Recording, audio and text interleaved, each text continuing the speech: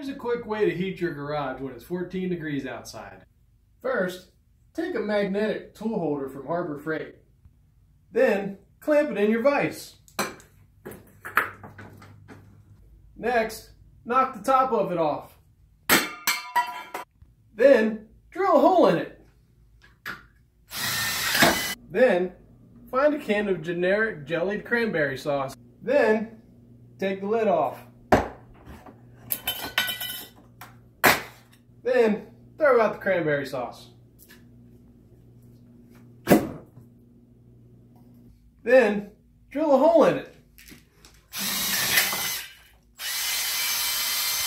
Then take the squirrel cover off your bird feeder. Then take a nut and a bolt and hook it all together.